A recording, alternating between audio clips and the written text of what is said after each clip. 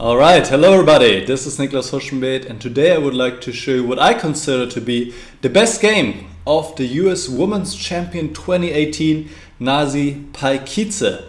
And I think her best game was in round number 6 against Sabina Francesca Foisor, actually the reigning US chess champion, the champion of 2017. So let's get to it. And before we begin though, what's kind of funny is, and also why I'm wearing this hoodie, both of these players, Foisor and Paikidze, studied with me at UMBC, University of Maryland, Baltimore County, and we played on the same team. so, well, funny coincidence. And let's get to the game. Before we begin though, as always, the comment of the day, it's by Arno and he says, thank you for an interesting video. It's really interesting to see how Grandmaster thinks about positions. It would be nice if you would play on Lichess because there's a possibility to have a simultaneous exhibition so that the viewers have the chance for a better result against you. And there was also another few other comments about a subscriber tournament on Lichess. So I'm curious what you guys think. Would you prefer a simul or a subscriber tournament? Do you have any preference? Do you not care? Let me know in the comments. That would be interesting to me. All right, now let's get on to the game. Foisor with the white pieces, Paikidze with the black pieces, d4, knight f6, and we see the, what is this variation called again? Hmm, slipping my mind right now. If I, if I, Ragozin, Ragozin variation, there we go. But funnily enough, after bishop g5 now transposes to the Vienna variation, which can also start if black takes immediately on c4.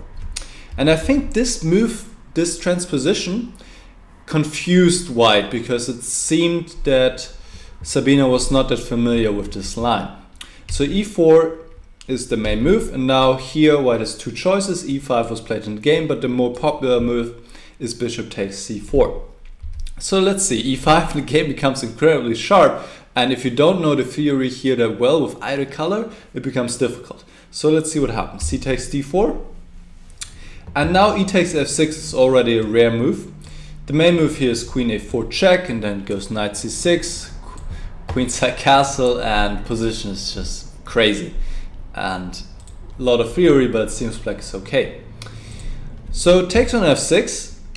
White is up a piece temporarily, but both the bishop and the knight are attacked, so black will regain the piece.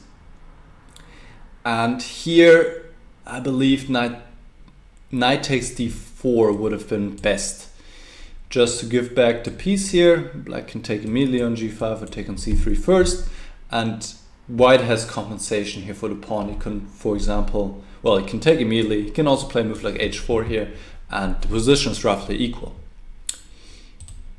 After bishop h4, it already becomes tricky for White, of course, black cannot take on c3 immediately, then white takes on d8, takes on f6 with check, and now doesn't take on h8 because c takes b2, check would be unpleasant, but just takes with the pawn, attacks the bishop, rook still attacked, and black wins material. But black has time here because the knight is pinned on c3 and cannot move, and black can just take this knight later. a3, bishop a5, and here knight takes d4, and then I think the position becomes very difficult for white. Bishop takes c4 had to be played. d takes c3, and now b4, queen takes d1, rook takes d1, bishop d8, defending the pawn on f6. And at the moment, black is up two pawns, but he will lose this one on c3. And white, of course, has to defend probably for the rest of the game, but this was objectively the best chance, objectively. Okay, so let's see what happened the game. Knight takes d4. Now obviously black has regained a piece, plus he's a pawn up. No, two pawns up. Now he's one pawn up. And knight f5, a very nice move, hitting the bishop on h4. Also offering the queen trade. If queen takes d8, then black takes with the bishop and defends the pawn f6.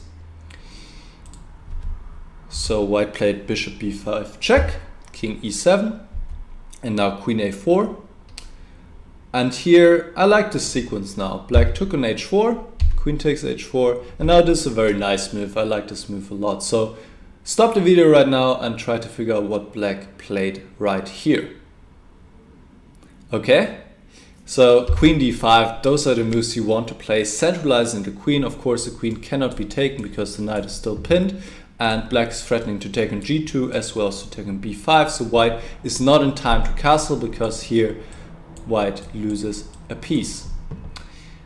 And that means white is in big trouble here, obviously. Fojo went b4, queen e5 check. Now the king has to go to d2 to defend the knight on c3. And now the king, the white king is also in the center. The black king actually feels much safer behind these pawns than the white king who's pretty exposed. Rook d8 check, king goes to c2, and now simply the bishop retreats to b6. Queen takes h7. White picks up a pawn, the material is equal, but this is not of importance here. Most important in this position, as it is in many positions, is the king safety.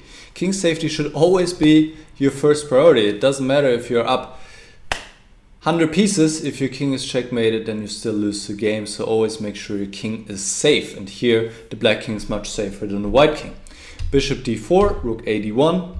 Now queen comes back to c7. Attacking the knight. Rook to d3 is defending the knight, but e5 and I like this move opening up the bishop so the bishop can also come into play and that's what my coach like to say all the pieces want to be invited to a party and the bishop and the rook are not participating yet and they will soon and then it will look very grim for white. F4 bishop e6 f takes e5 white tries to open up the black king but this just doesn't work. The bishops are monsters on e6 and e5 and now the last piece comes into action and it is all over for white. For now still holding on but this will not last for long. A6 opening up the square for the queen on c4 and the queen is ready to come into the position. Rook takes d8 and now nice intermediate check. Always when your opponent takes a piece make sure for one moment that you don't have any intermediate moves that maybe can improve your situation. And here it is the case. White black doesn't have to take back immediately can give this check. Once again made possible due to the fact that the knight is pinned, this time by the rook. Now king to d1, and now black takes back with check, so even more powerful. And here, if the king goes to e1 or c1, black can just go queen d2 and pick up the rook. So white played rook d3, but now bishop g4 check, and white is being checkmate very soon. Here, Foisor resigned. After king e1, there's bishop takes c3 check, followed by queen e2 checkmate. All right, so very convincing win here by Nazi Paikidze.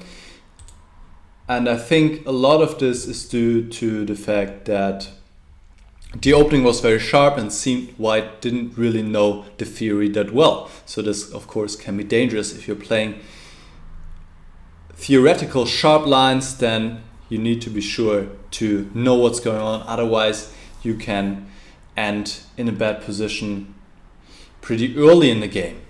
All right, so Nazi won the tournament by beating Annie Wang in the playoffs. Very exciting. Won ultimately in the Armageddon game. Showed great perseverance and congratulations at this point, Nazi. Um, well, Nazi is always just doing extraordinarily well in the US Championships. She played she played four times and she's won twice and twice she was second. So amazing performance once more. And you guys, if you have any questions about the game or anything, let me know in the comments.